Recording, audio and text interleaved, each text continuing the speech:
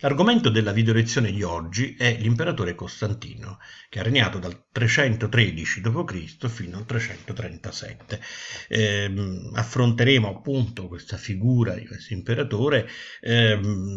andando ad analizzare eh, alcuni degli aspetti della sua politica, ehm, come per esempio la politica eh, che ha eh, avuto nei confronti dei cristiani eh, si, Costantino eh, si convertì al cristianesimo oppure usò i cristiani per mantenersi al potere? Questi ed altri problemi cercheremo appunto di eh, affrontarli nella lezione di oggi. Quando Diocleziano mh, mm, eh, organizzò questo sistema eh, tetrastico per poter appunto eh, governare meglio l'impero romano, aveva davanti a sé eh, due problemi molto molto delicati. La grandezza dell'impero romano, ehm, che eh, seppure non avesse aggiunto altre province nel corso di questi anni, eh, diventava sempre più un problema di gestione perché eh, c'erano moltissime eh, spinte centrifughe e eh, si aveva sempre più difficoltà a controllare il confine soprattutto con eh, popolazioni appunto barbare germaniche che eh, costantemente spingevano sul confine e che talvolta insomma lo avevano anche oltrepassato ben prima del 476. Ma l'altro problema che Diocleziano aveva, aveva eh, diciamo, eh, che preoccupava Diocleziano era quello del momento della successione. Diocleziano si era reso conto che uno dei momenti più delicati eh, che ha creato grandi crisi e eh, ovviamente ehm, momenti difficili per l'impero romano era quello della successione, cioè quando mari- moriva un imperatore e saliva al potere un altro. E eh, per questa ragione aveva l'abbiamo visto nella lezione su Diocleziano, aveva organizzato la tetrarchia in cui non soltanto i due Augusti si erano divisi il potere, ma addirittura aveva nominato due Cesari eh, proprio per ovviare al problema della successione di cui abbiamo detto poc'anzi. Non contento di questo, nel 305 Diocleziano convince Massimiano a dimettersi per vedere appunto come funzionava questo passaggio e quindi gli Augusti fino al, fino al 305, Diocleziano e Massimiano, si dimettono permettendo ai due Cesari che fino al 305 erano Galerio e Costanzo Cloro, di diventare Augusti dal 305 in poi. I due eh, Augusti, Galerio e Costanzo Cloro, a loro volta, appena eh, appunto diventati imperatori, eh, hanno nominato come propri successori e anche mm, diciamo, eh, come collaboratori nella gestione dell'impero romano i due Cesari, e cioè Massimino Daia e Flavio Valerio Severo. Siamo al 305 e sembra che le cose procedano come erano le intenzioni di Diocleziano. Ma, ma eh, il mm, problema si evidenzia innanzitutto nella parte eh, occidentale dell'impero perché nel 306 muore Costanzo Cloro eh, e quindi come da eh, regola Flavio Valerio Severo che appunto era il suo Cesare sarebbe dovuto diventare l'Augusto appunto eh, al posto di Costanzo Cloro. Ma le cose non andarono eh, come erano le intenzioni di Diocleziano e questo perché eh, arrivano a ribalta due personaggi, Costantino e Massenzio, eh, il primo figlio di Costanzo Cloro e il secondo figlio di Massimiano. La, il mondo romano si spacca perché eh, le truppe devote appunto a Costanzo Cloro oppongono a queste elezioni di Flavio Valerio Severo quella del figlio di Costanzo Cloro, cioè Costantino, e in qualche modo anche a Roma i pretoriani eh, si oppongono sempre all'elezione d'Augusto eh, di Flavio Valerio Severo, questa volta opponendoli il figlio di Massimiano. Quindi eh, di fatto eh, sia le truppe eh, devote a Costanzo Cloro che i pretoriani eh, volevano che passasse il principio in qualche modo dinastico, eh, piuttosto che invece ehm, un altro principio, quello appunto scelto da, da Diocleziano. E lo scontro fu inevitabile e eh, dopo che Costantino nel 312 ha sconfitto a Verona le truppe di Massenzio, sconfisse sempre nello stesso anno, qualche mese dopo, e questa volta definitivamente, lo stesso Massenzio sul ponte Milvio. Molto si discute poi di quello che successe naturalmente sul ponte Milvio, ma torneremo a breve mh, mm, su questo aspetto. Costantino, ormai padrone della parte occidentale dell'impero romano, si rivolge alla parte orientale. Nel 313 si allea con Licinio, che era un governatore eh, di una delle province, ma era un personaggio molto molto influente e ehm, Costantino promette ehm, appunto eh, il, il, suo appoggio ehm, a questo governatore perché Licinio eh, mira a, a, diventare Augusto. Tant'è vero che appunto sempre nello stesso anno sconfigge Massimino Daia eh, e di fatto diventa Augusto d'Oriente e per una decina d'anni eh, dividerà il potere con Costantino, anche se di fatto alla prima alleanza eh, appunto con Costantino, eh, dopo qualche anno eh, cominciarono a crescere i malumori per alcune decisioni eh, che non furono prese in maniera eh, molto condivisa e qui eh, rientrò anche il problema dei cristiani. Ma andiamo per gradi. Parliamo appunto del rapporto tra Costantino e il cristianesimo. Qui lo vediamo appunto effiggiato, l'imperatore, eh, in un mosaico eh, eh, di ispirazione ovviamente cristiana. Durante la battaglia di Ponte Milvio eh, si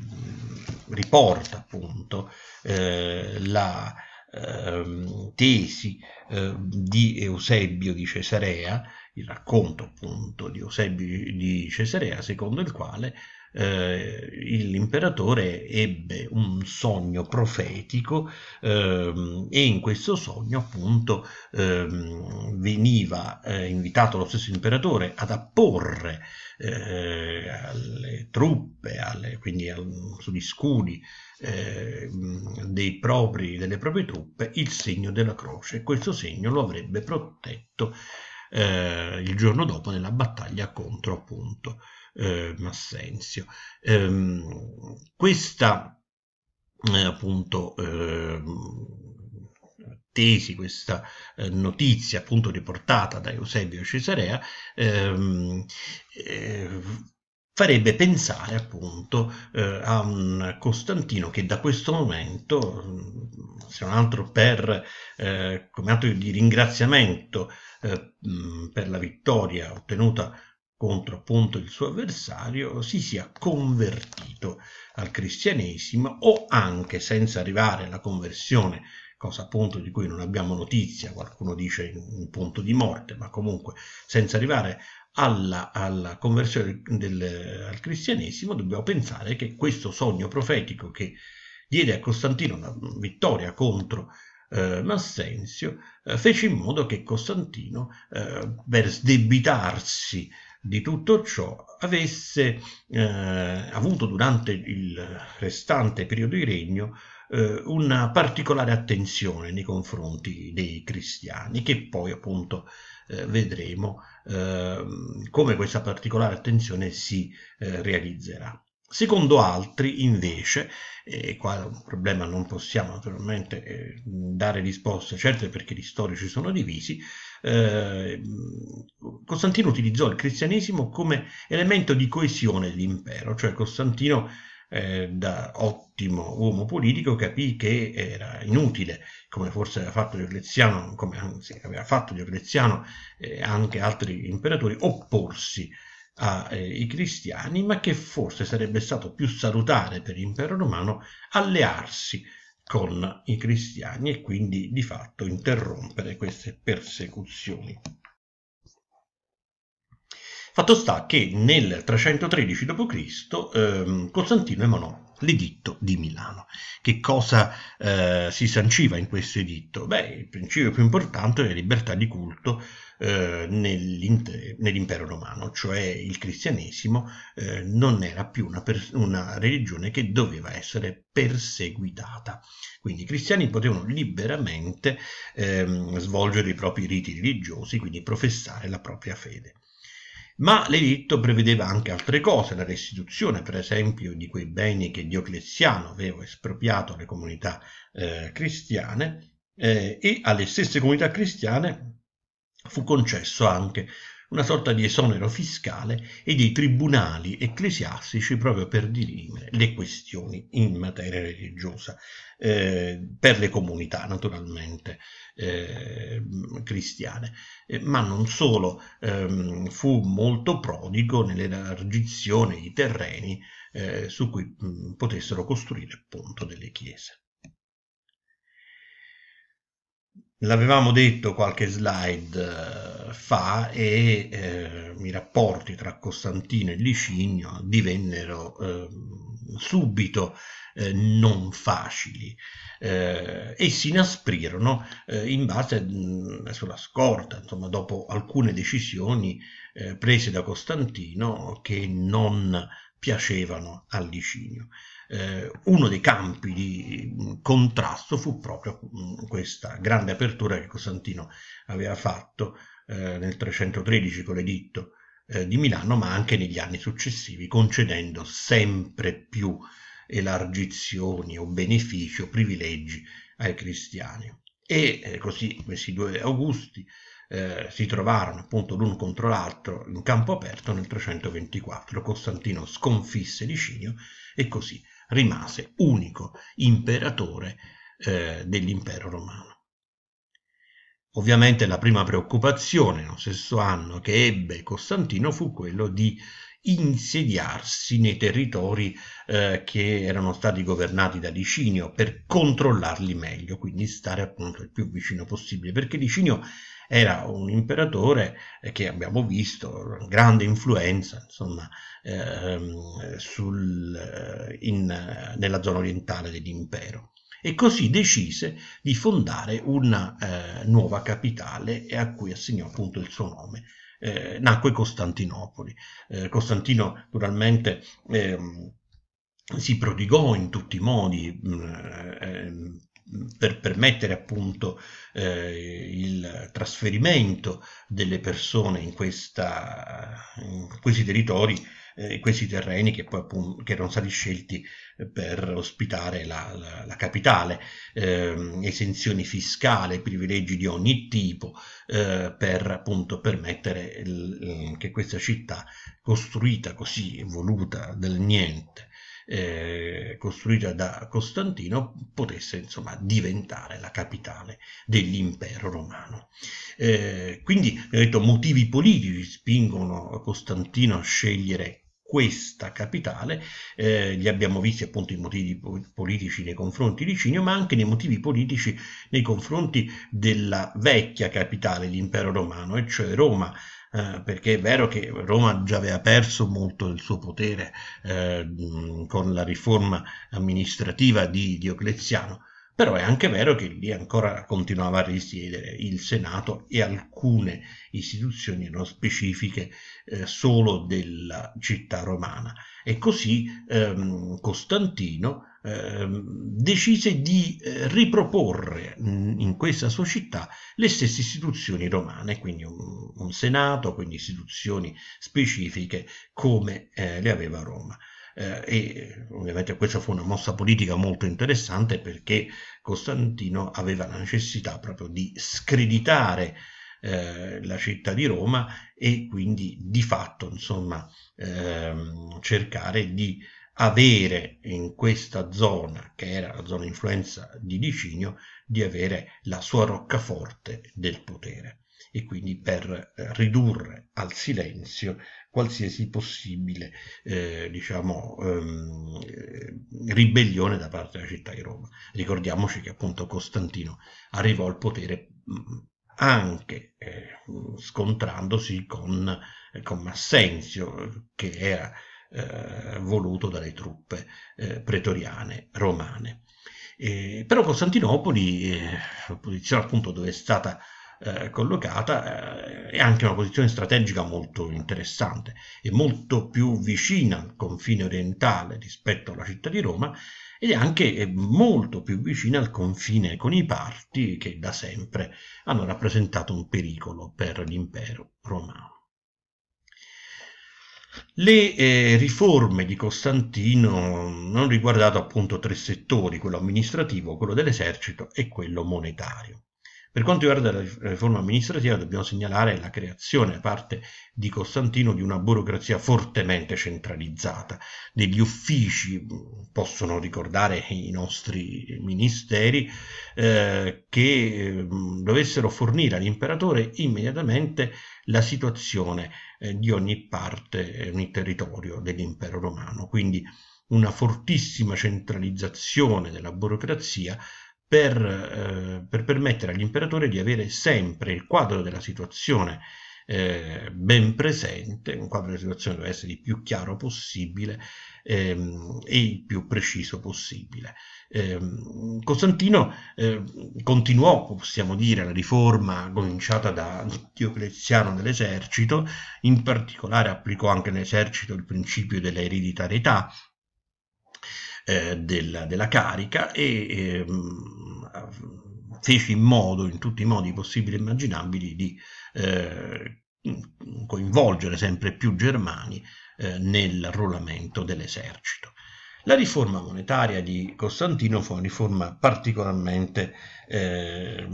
eh, gravosa per i ceti medi per il, diciamo, e anche per il popolo. Perché? Perché istituì il solidus, cioè una moneta d'oro. Istituire una moneta d'oro per far fronte all'atavico problema dell'impero romano, cioè quello di una inflazione devastante, spesso non sotto controllo, eh,